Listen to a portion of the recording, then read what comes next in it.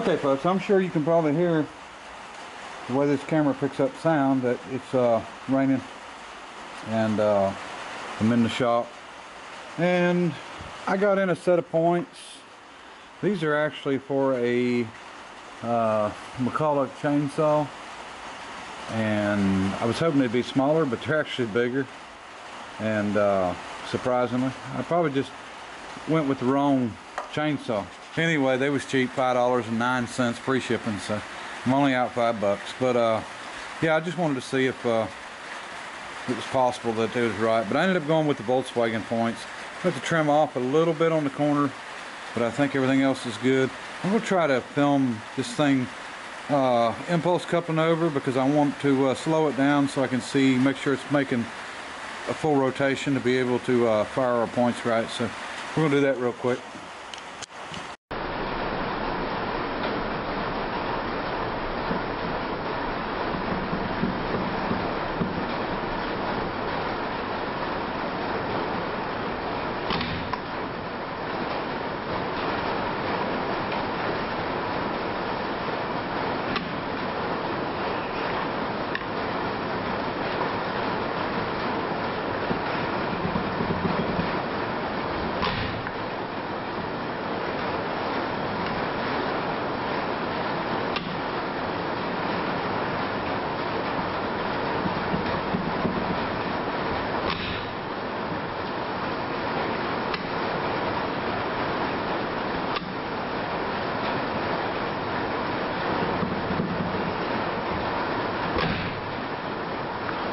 All right, hopefully we can slow that down. It's on film there. We'll be able to tell. So. All right, keep at it. Okay, folks, here's what we've got. Uh, Volkswagen points. Uh, got to shave a little bit off. Still got to drill the hole and put the set in there. But I've done this hole so tight that I could slide them in there and not have any problems. And uh, just to do some testing. What I've done is uh, cleaned up the points. Put a temporary uh, capacitor on. This is out of a Fairbanks Morse magneto and uh, until I can get me one that I want to run. And I'm going to either run it in this cover or inside the cover because it's got to be able to hook into that wire. And uh, what I've done is I set my points up. We're almost totally retarded now and uh, on the timing and not quite. We can go a little ways farther. But I wanted to set it up so the points was in the center of the closed position when this thing was retarded. And the reason I've done that is most of the magnetos or all the magnetos I've seen over the years that are are not adjustable that is where it's sitting when the impulse coupler begins and uh, and it actually holds it right there with it closed in the center until it trips. And once it trips it comes around and and uh, I guess you know it opens once and then when it closes that all it is is the initial close is what where your sparks at. But uh, I've actually uh, got spark on it. And I've just got this thing just hung together enough for testing and I wanted to make sure the coil and the Magnus was good and it's actually throwing a really good spark. It surprised me. And I'm going to try to get set up here where you can see it. It may be hard to do but uh, I'm going to do that and then I think I'm going to go ahead and make my cover. It goes over the points. Now I'm going to get a new set of points for it. Uh, this is an old rusty set and uh, I'm just going to make sure I make the cover enough to to come out and clear everything and then uh, we'll uh, make the piece for the spring that holds the cover on and it actually helps hold all this in everything together because this just slides on. And uh, but now I've got it pretty tight but I've got it to where you know it'll adjust timing real well. Okay uh, let me see if I can get you set up where you can see the spark on it here. Okay folks we're going to try to see if I can show you this thing firing. It's going to be hard to see but I've got a wire running right here and I've got about a 3 16 gap which is pretty daggone wide and uh, way wider than what a spark plug would be. Oh, let me see. I don't know if we're going to be able to do it like that or not. I'm going to try.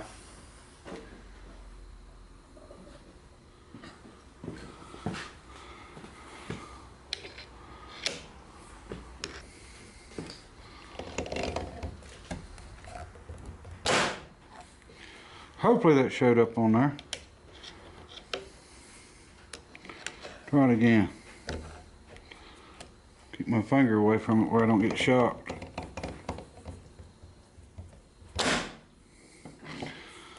Okay, hopefully you can see that. Uh, working pretty good. I don't think we're gonna have any trouble. Uh, like I said, I'm gonna change the condenser out, put a different condenser in it, something smaller. But uh, we know it'll work. I'll go ahead and get a new set of points because like I said, these are rusty. But uh, one thing, I, I kind of had to laugh about this. Uh, doing research on this Magneto online, I, uh, I ran into a lot of people that basically said they're junk. And the reason they said they're junk is because the bases rotted out. And of course, I guess this part, part rotted out. Now, I did have somebody on, on, uh, on the comments, uh, the last one, I think, the last video I done said that uh, this was made out of pewter, and it very well could be. I don't, you know, I don't know. And uh, it, it's a pewter type material, I can promise you that. So uh, I wouldn't doubt it. But, but anyway, here's the deal. This is uh, this is 102 years old, and uh, what I mean, what can you really expect for 102 years? You know, the fact that that base is in good shape tells me that if this is the same material and some of the bases rot out, that you know metallurgy wasn't as up as it is now. So you know there may have may have been some bad batches, and uh, I know this base is absolutely perfect on this one. And then I've seen bases that look like this. So, uh, but you know, we're talking about 102 years. How long did they last? How long was this still good? You know, 20, 30, 40 years. Uh, how long could you expect something to last? You know, if it was made out of plastic, uh, it'd have been in the junkyard a long time ago, or the landfill, really. Uh, so you know, I don't I don't see a problem with it. Uh, you know, I don't see anything American made hundred years ago. I don't think they made anything that was actually junk. I'll be honest with you. Uh, you know, if if they did, uh, I didn't hear about it. But anyway, I'm going to get to making this cap for the top, and I'll show you what we use. I've got a piece of uh, solid aluminum here. We're going to cut a piece off and we're going to turn it out and just to cover we'll take our wires back loose until you know we get that covered and then I'll run a new wire and everything. I didn't run a new one yet and uh, we'll rewire it to where it uh, where it'll uh, all be enclosed and it hopefully look good. We'll see. Uh, I think I can do that out of aluminum and then polish it out to where it looks like chrome uh, shiny instead of uh, leaving it a dull color. That way it don't look aluminum. It might look maybe a little bit nickel plated or something if we get it shiny enough. But uh, anyway, I'm going to get at it and I'll show you more. Okay, folks, I went through uh, all of my my gears I got, or sprockets I've got. Actually, I got more than this. I got a lot, some hanging up. But anyway, I went through all of them looking for uh, something that was uh, double the size of the other, if that makes sense. Uh, you know, like a 15 and a 30 or a 16 and a 32, so I could get the speed right on the magneto instead of turning it faster. It would make more spark faster, but I don't want, with that uh, old uh, impulse coupler, I really don't want to turn it faster than it's supposed to turn. So anyway, this is number 25 chain. I come up with this, and uh, I don't like it because it's so small. It's actually too small when I go to put it on that crankshaft, it'd be a, a big pain. And then I found this one. And uh, this is 35 chain. And I've got some 35 chain. It's kind of rough, but I can clean it up. It's not, it's actually a new chain, but been sitting around. But uh, I think that's what I'm going to use. And uh, not, they're not huge, but uh, this will drive off the crankshaft and that'll be on the magneto. And I'm still going to have to build something for an outboard bearing on the magneto. So we'll get to that, but I'm gonna I'm working on the cap now for the uh, go over the points. So, all right.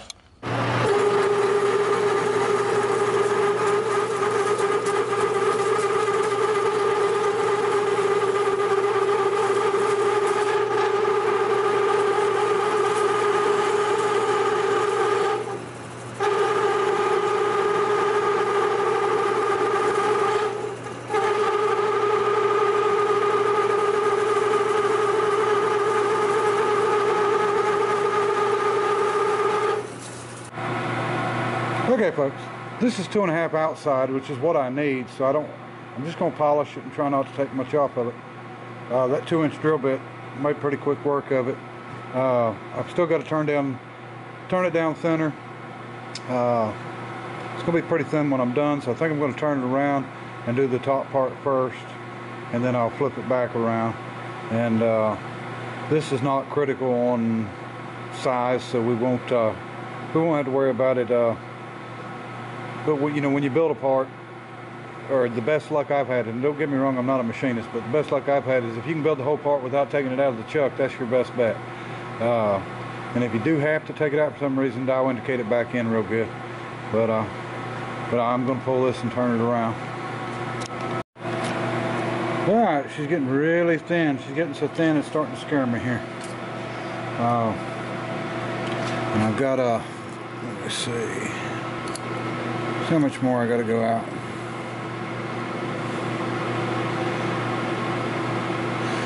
I got about 10 thousandths to go, so that's five on each side. Hopefully it'll make it without busting or going to heck. All right, me get at it. Okay, we got our cap machined out here, and uh, this stands 65,000 walls, so, uh, pretty thin.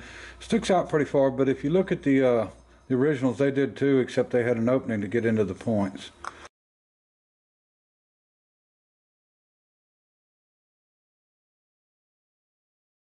But uh, as you can see, it fits directly on there, and uh, and I may, I've still got about a quarter inch up here, so I may end up taking some more off, and uh, maybe machining some of that down, uh, so it don't stick out quite as far.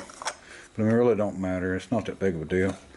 But uh, anyway, we got her firing, and then uh, we got this cap made. So it needs a lot more sanding and polish work on it, but but it's there. But uh, I'm afraid to know how late it is. I had a call there a little bit ago in the rain at uh, Highway Patrol call, and ran out and got it and come back and jumped right back in this thing. So uh, I know it's late, so I gotta I gotta get to bed. But uh, but that'll clear our points just fine. Cover it up, and uh, we'll put our latch on it to hold everything in, and we'll keep rolling with it. Try to get this part finished up. Uh, I've got my, or I found my clay, so I should have it soon, and uh, we will get to uh, get to making that that smelter there. All right. Appreciate everybody watching. Bye.